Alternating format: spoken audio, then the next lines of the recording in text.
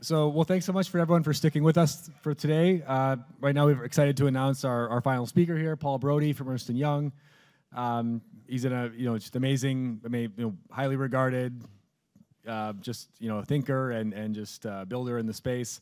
And so it's a pleasure to have him here. It's a pleasure to have him uh, give his take on Filecoin. And he also had an op-ed in CoinDesk today saying that we're in the, the final crypto winter. So we, I'm so glad that very you prophetic. That. That's, that's, awesome. hopefully, hopefully, hopefully true. Hopefully true. Uh, but anyway, so take it away, Paul. All right, thank you, thank you, everybody. So um, yeah, I'm Paul Brody, global blockchain leader at EY. Um, I've been at EY for about eight years now. I love this. I got the, the timer on already. Um, 53, 50. I'm, just, I'm not gonna worry about that too much. I've got a quick presentation, 200 slides. Uh, it's very easy. We're the big four. We we like our slides. Um, we're actually a little bit unusual at EY. We're uh, really, really laser focused on public blockchains uh, and, and kind of thinking strategically about the ecosystem. We never really were very excited about private blockchains. Like, I still can't really understand what is the point of a centrally managed decentralized ledger, but you know, uh, apparently some people bought them. Uh, but what I want to talk to you today about is, is really about the stuff that we're thinking about, particularly around this, this idea of scaling. So we are we're pretty early on in the blockchain ecosystem game. We're somewhat later on. One of the things that's interesting about technology ecosystems is platforms mature and they become dominant actually before all the use cases or the massive use is, is, scales out. So for example, if you think about like PCs, for example, so Windows and Mac, were the dominant PC operating systems long before PCs became widely available, right? And that everybody had them. And same kind of thing is going on here. Right now, today, the number of companies that are actually using enterprise blockchain, blockchain technology, whether it's in decentralized computing or, or other types of activities, is relatively small. But the standards are already emerging and the business cases are starting to solidify. And, and what I want to talk about a little bit is kind of where do we see things going particularly outside of financial services, which I, people tend to spend. I think we spend much too much time in the world of blockchain worrying about DeFi and financial services, and not nearly enough time worrying about kind of the real world use cases, whether it's compute, storage, or supply chain and business operations. So I'm going to really talk about kind of the, the scalability part. Um, you'll notice here, like. Uh, we're, we're out of the we're fully out of the closet EY we're ETH maxis um, uh, and and uh, that's that's something that we're we're pretty open and direct about. We're very very focused and strategic in our thinking about blockchain ecosystems. We are focused on the largest dominant ecosystem. So we use IPFS. Um, we we develop pretty much exclusively on Ethereum uh, and primarily public Ethereum. Uh, so we're, we're our goal is not to be mediocre at a dozen different platforms. Our goal is to be the best at the largest platforms. So, uh, disclaimer uh, you cannot hold us responsible for anything that we say. I don't know why, but uh, that's me. Alrighty, so we have a vision of kind of how enterprises will use blockchain. And, and it's actually pretty easy to sum it up in a single message, which is a single sentence, which is this We believe blockchains will do for business ecosystems what ERP did inside the enterprise. Now, how many, everybody here should know what ERP is, or have post ERP implementation trauma, depending on how old you are. Um, and you know, if you've forgotten, right, what ERP did inside the enterprise, it standardized process and data, right? You know, if, if, you take a traditional manufacturing environment, you configured stuff, you ordered it, you made it, you shipped it, you billed for it, and as long as you were very integrated as an enterprise, the ERP ecosystem gave you this end-to-end picture of how things went, right? And and the CEO of the company said, "Listen, I don't care what you like or you want. We're all using SAP or Oracle or some other single platform." And it was a it was a very ruthless top down process, and it worked very well inside of large enterprises. It obviously doesn't work in a broader ecosystem, right? Occasionally you have an 800 pound gorilla, right? Uh, and, and when they come to you, as I would say, like when the world's largest retailer asks you to join their blockchain, they're not asking. They're very politely telling you what is required, right? Uh, but in general, right, at the, the enterprise ecosystem across you know the reality is, is there are no companies like this there are no companies that have control over this i think if you're a big fan of industrial history, which is just probably in this room me, um, you know that like back in the 1950s, Ford had this factory called the River Rouge Complex in Detroit. Basically, like dirt went in on one side and cars came out on the other. They had they had a steel mill, they had a glass works. I mean, they were they were very unusual in that they're they were atypical in the sense that they were highly, highly vertically integrated. Today, you know, much better example, I think of the prototypical factory today is the Shenzhen iPhone assembly plant, right? Uh, they make phones for a company that doesn't own the factory, right? And in fact, doesn't really have a single manufacturing facility, right? That makes a lot of sense today. And in fact, you know, basically today, you know, the, the real truth about sort of digital ecosystems is they're incredibly siloed, right? And I love it when people say we got to digitize our data. It's all digital, right? It's just in like 35 different silos. And every time stuff moves from one silo to the other, it gets recreated. Things don't actually move from the raw material supplier to the OEM. That's not how it works. The raw material supplier makes stuff and has their own digital records, and then the OEM basically makes a whole new set of digital records, right? And this is why if you ask a company how much money they have, they can tell you with precision, but if you ask them how much inventory they have, they're like, oh, about two weeks, right? Because banks are very disciplined in how they handle money, and enterprises are completely undisciplined about how they handle everything else. You can go into any enterprise system, make inventory appear, you can make it disappear, like, there's no control, right? Blockchains, the beauty of blockchain is you can define any asset, and it will apply the same discipline to that asset as a bank applies to money, right? And, and with that, you could actually have an incredibly precise continuous environment instead of this process where we, we move information by fax and EDI or PDF or Excel spreadsheet, right? It's, it's a mess. Um, right? Blockchains and smart contracts can fix that, right? We can have digital tokens that we create and actually move through the entire process, and we can have smart contracts that govern the movement of these assets right? We can basically create like a digital twin of your ecosystem with tokens and assets and business agreements end to end, right? Um, and the returns on this are actually really huge. And I'll share with you a good case example. Now, this is a case example from a permissioned blockchain. So, full disclosure, we didn't have the technology to implement privacy, but it was a really excellent use case. Um, we built for Microsoft, and they still use uh, and EY developed Ethereum, a permissioned Ethereum chain for all of the Xbox video game procurement. If you buy a video game on the Xbox network, it's processed by a smart contract that was developed by EY. And the returns on this were incredible. We took the cycle time to process monthly transaction sort of summaries for clients from 45 days down to basically like two or three minutes. Right? So huge cycle time improvement um, even when we incorporated all the costs of building an entirely new network, you know, kind of doing a lot of this stuff for the first time, migrating, I think something on the order of 30,000 contracts is still 40% cheaper than the prior system. And far fewer disputes between buyer and seller because the logic is transparent. Right? So we know there's an enormous payoff from going to smart contracts. And this is just one kind of node in a, in a very complex network. And unfortunately, because it was done on a permission chain, it can never be deployed kind of onto the public ecosystem. But we are we're very sort of bullish on kind of this whole range of use cases that are, are coming forward, right? Inventory management, contract management, product traceability, cross-border trade, emissions tracking, public sector accountability. There's a ton of different use cases that involve basically the standard model of like you've got money, you're exchanging money for stuff under the terms of a business agreement, and you need to keep track and understand the results of what you got. Um, three things are kind of holding us back from this, this future state.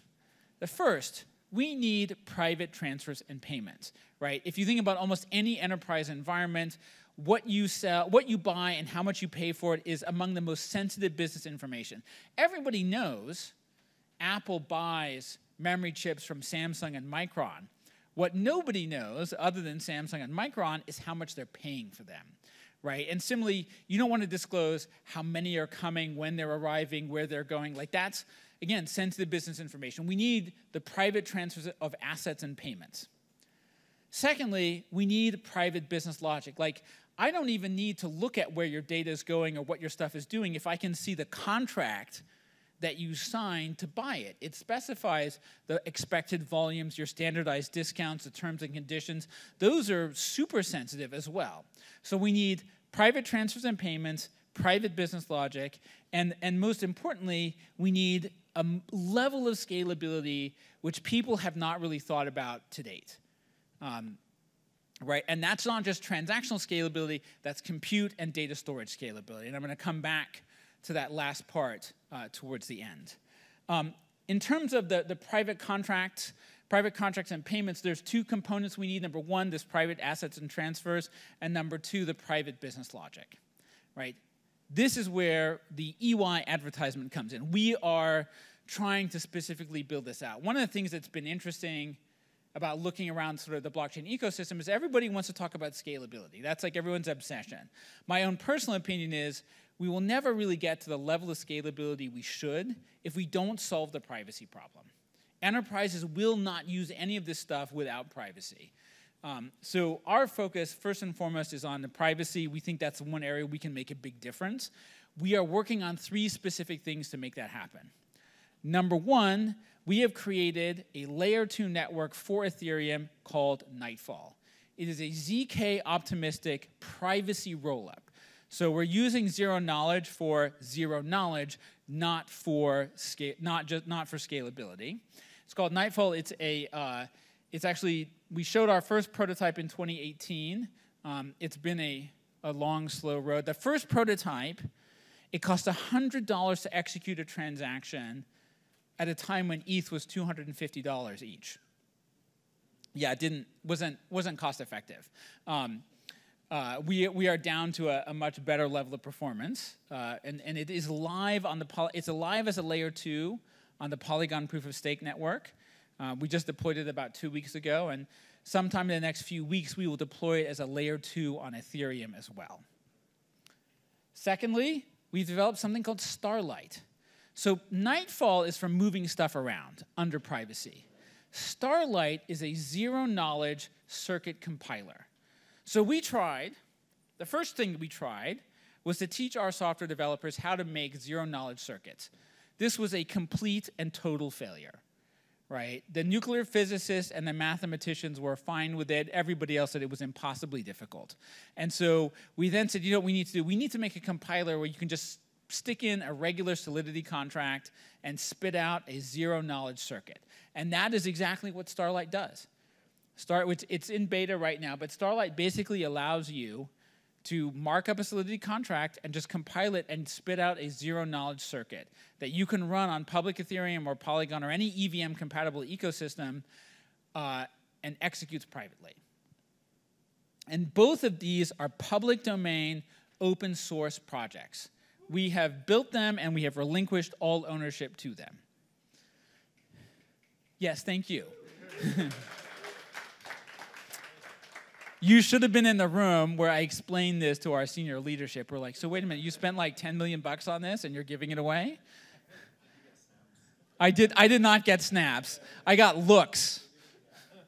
Um, and then lastly, this one we haven't decided what to do with yet, but it, it's called Starfall, and it allows these two things to interact together so that you can have coordinated, complex business processes on the public environment. And I'll explain a little bit, a bit more about each one of these. Nightfall is a layer two. It's a ZK optimistic rollup. The next version will be a ZK ZK. And it's pretty much a standard shield contract, right? Stuff goes in and it becomes invisible. Now, uh, some of you may have heard of Tornado Cash. Um, we obviously didn't want to go down the, the Tornado Cash path, but we did really want to retain the sort of fundamentally permissionless approach to do that, basically what we've done is we, we had to, to lay out um, a, a, requirement that you have an X.509 enterprise identity certificate to use Nightfall. Anybody can get an X.509. It's, it's only available for enterprises. They're issued by SSL providers. And uh, the way it works is you have to provide your enterprise identity information. It has to be vetted against the various sanctions list, and then you'll get a certificate. The good news is there's no there are many, many SSL certificate providers. So there is no gatekeeper, there's no bottleneck here. To be very clear, EY is not involved in this process. We're not involved in it, we're not controlling it, we're not the gatekeeper, nothing. But it is a very effective, I'll call it bad actor deterrent if you have to disclose your identity. And so this makes Nightfall confidential but not anonymous. So if you think about the landscape here, right, between identified and anonymous, and public data and private data, you have something like an ENS account that's public and identified, right? Ethereum is pseudonymous and public. Tornado Cash, Aztec, Zcash, these are private and potentially anonymous or pseudonymous. And then where Nightfall fits is we are private but identified. And this is where really sort of differentiating this by explaining it's, it's really confidential, right? And um, it's, it's a unique kind of approach here. It's the best compromise we can find between being as maximally privacy focused as possible without being encouraging to potential bad actors, right? Which is, is just not what anybody wants in their system. Basically, it is, as we described, you can tokenize assets and move them around under privacy in this very, very kind of what will hopefully be a very large privacy ecosystem. It is today, I would say, relatively efficient. Um, we can do it for under a penny per transaction on the Polygon proof of stake network. We estimate when it's deployed, it'll be about 30 cents on the Ethereum mainnet for a fully private transaction. Right, and then our next version is under development now already. Nightfall version four will be a zk zk rollup, so we will we will get away from the optimistic part, which will ease up any issues of like inputs and outputs and and and time windows.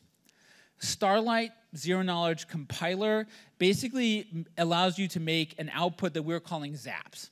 Right, these are zero knowledge applications. Right, you take your Solidity contract, you mark it up, you spit it into the compiler, and it basically creates this kind of black box zero knowledge application that, that runs on Solidity.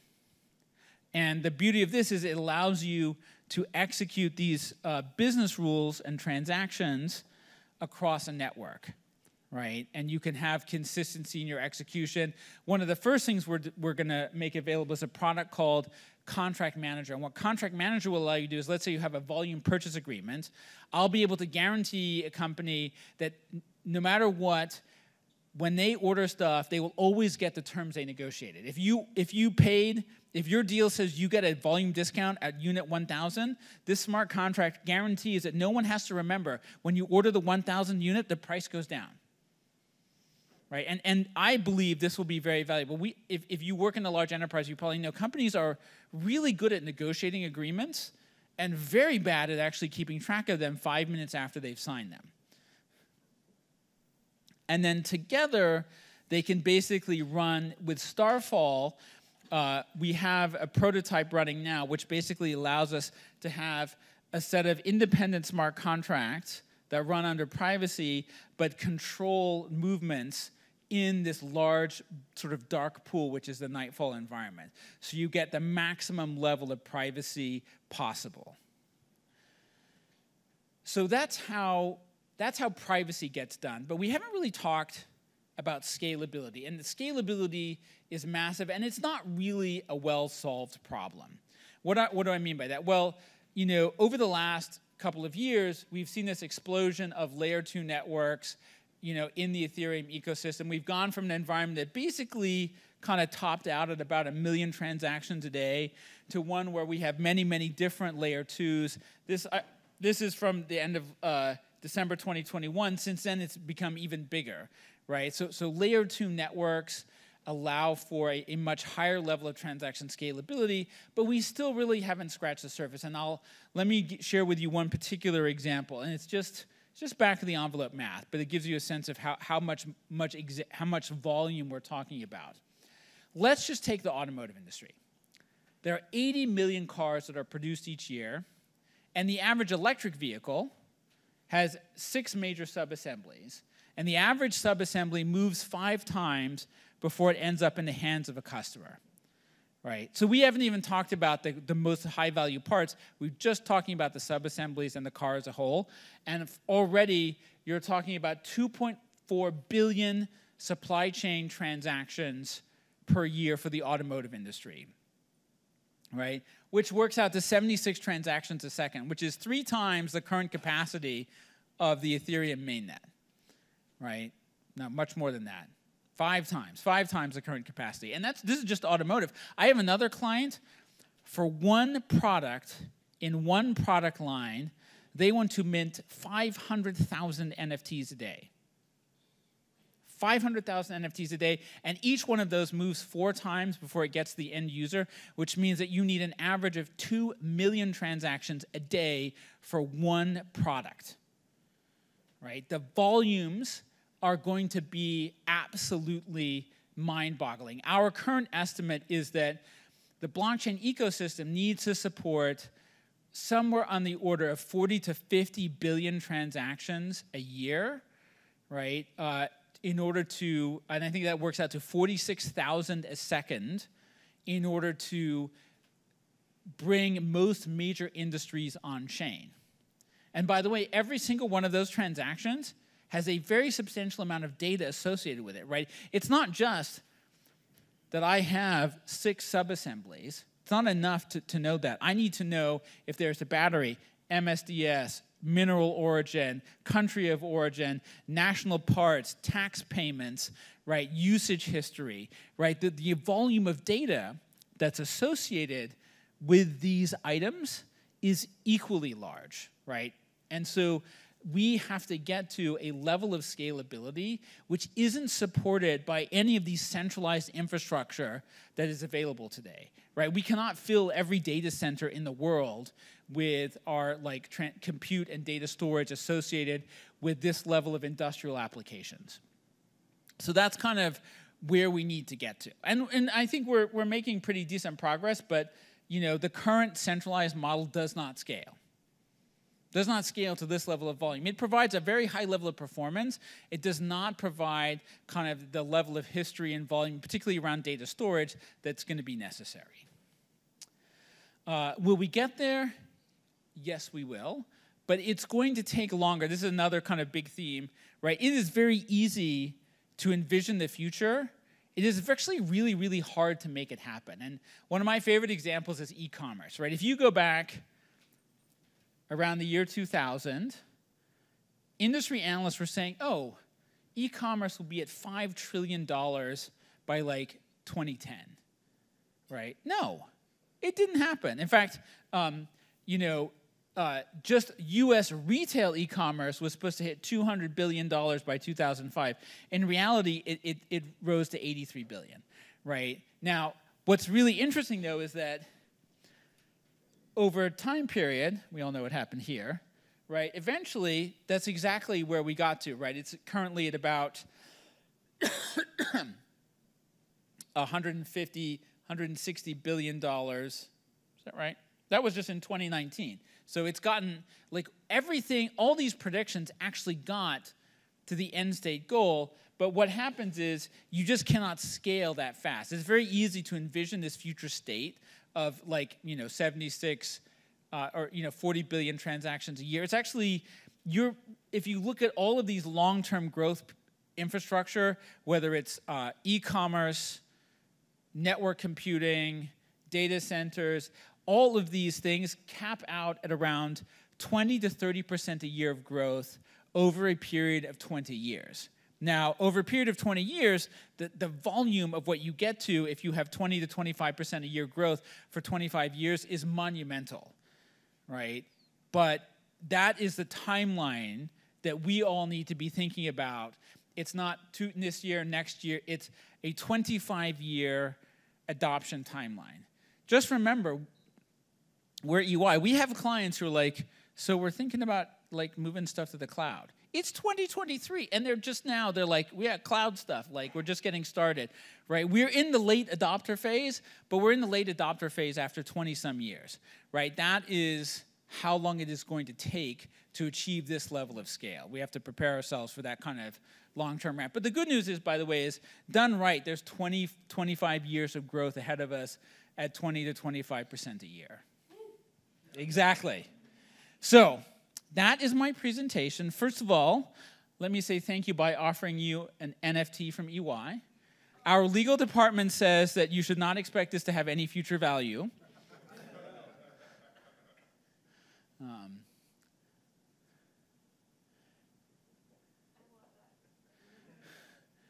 and this is my contact information, and I will take questions or comments or just gratuitous flattery.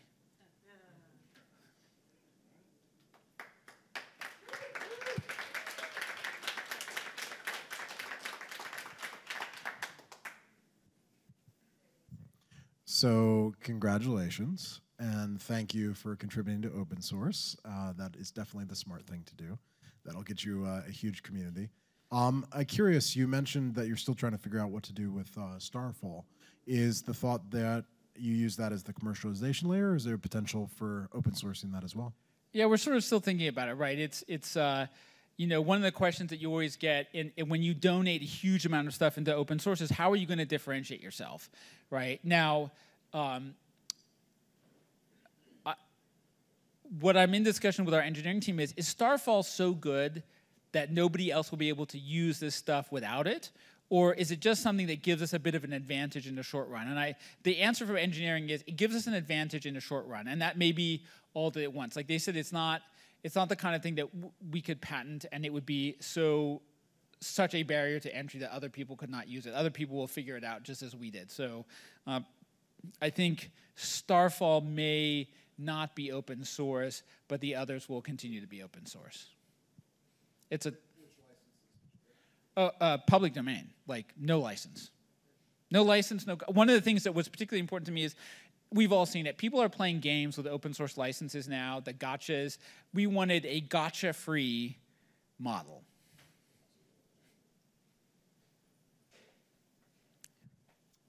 Hi, uh, I wanted your thoughts on which uh, uh, traditional enterprises have been the best at thinking about their blockchain strategy beyond Ernst and Young, of course. So, would love your your hot take on top enterprises and. So, it's not the enterprise. What we've discovered is it's a person, it's a sponsor inside the enterprise. When you find the right sponsor who's willing to take some kind of risk, uh, that's really really valuable right? And microsoft is a really good example right? They they built the xbox video game system that was done by somebody inside of microsoft who was like i want to be a visionary. I think we can do this. I, I see the value proposition. So it, it's much more often it's a person inside of an enterprise who's got a, a little bit of a, a, vision and they, they have the will to push it forward. Um, that being said, uh, the most receptive firms are the ones that are doing supply chain work and, and other stuff that's outside of financial services. Financial services and healthcare are highly regulated, and that those companies have internal regulatory compliance teams that are very risk averse and so they're, they're slow to, to engage. Financial services is an interesting example. Um, if you officially, like all that financial services firms say, we're not doing blockchain stuff for the most part, especially in the United States in the, in the current environment. In practice, we know they're all building digital asset teams, they're all preparing for this environment, but they're waiting for regulatory clarity, and they won't do anything substantial, especially in the US, until they have it. Hey, um, so I was just wondering, I, I, think there are more unicorns on this earth than unqualified audits of cryptocurrency companies. Um, I was just curious, the moment we say cryptography and cryptocurrency in the same sentence, the auditors just run away. I'm assuming being at EY, if we use Nightfall, does this make it easier to get statements of, of this is what's happening in your company? Or would other firms maybe not your firm, just run the other way because we're using zero knowledge proof, knowledge proofs, we're hiding business logic. What what could be going wrong? So. Um, first of all, I would say, you know, all the big four firms do audit cryptocurrency companies, including EY, right? I would say we're a little different in the sense that we've invested a lot more money in the understanding the core technology, and I think we're the only ones who have like a real cryptography team with mathematicians and physicists. But in general, the issue getting a, especially a big four firm to audit you isn't that they don't understand or they are not willing to. The problem is in the audit business, you have unlimited liability, right? It, the, the risk of screwing up is monumental. And this makes big four firms very risk averse in, in terms of who they accept. They don't just want a low risk business, they want a low risk management team. We, I mean, it, it was kind of blew my mind when I came to EY. We have a process called client acceptance, and not many companies make it through uh, because we vet all the directors, we vet all the senior leadership. You have to demonstrate not only that you're you're kind of a you know a good company run by good people, but you have rigorous business controls. Like we want to feel confident that the data coming out of your systems is very good, and it's not uncommon for like fast growing companies to spend 15 or 20 million dollars in what's called audit readiness work just to be ready to be audited that's just kind of the the re- I think the regulatory environment makes auditors very, very risk averse. Um, in terms of zero knowledge circuits, I'm not so worried about that. Like, like as an auditor, you will, our audit team will be able to see both your private transactions and the public proofs. And we are certainly preparing for the day when we have audit clients who have zero knowledge transactions that, that are provable on chain and that you have to match up the off chain data and the private data to make all the pieces come together.